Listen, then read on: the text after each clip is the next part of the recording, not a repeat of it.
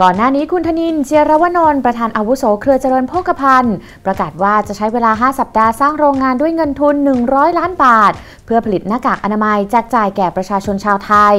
ล่าสุดนายธนินเจียรวนนท์ประธานอาวุโสเครือเจริญโภคภัณฑ์พร้อมด้วยคุณสุภกิจเจียรวนนท์ประธานกรรมการเครือเจริญโภคภัณฑ์และคุณสุภชัยเจียรวนนท์ประธานคณะผู้บริหาร เครือเจริญโภคภัณฑ์ นำคณะแพทย์จากโรงพยาบาลจุฬาลงกรณ์สภากาชาติไทย เข้าเยี่ยมชมโรงงานหน้ากากอนามัย CP หลังก่อสร้างเสร็จ และได้รับใบอนุญาตจากสำนักงานคณะกรรมการอาหารและยาเรียบร้อยแล้ว โดยได้ส่งมอบหน้ากากอนามัยทางการแพทย์ล็อตแรกจำนวน 1 0 0 0 0แชิ้น ให้กับโรงพยาบาลจุฬาลงกรณ์สภากาชาติไทย โดยคุณธนินนะครับได้เผยว่ารู้สึกยินดีและมีความสุข ที่สามารถสร้างโรงงานผลิตหน้ากากอนามัยเพื่อแจกฟรี แก่แพทย์ เพื่อให้กลุ่มคนเหล่านี้มีพลังที่จะปกป้องประชาชนต่อไป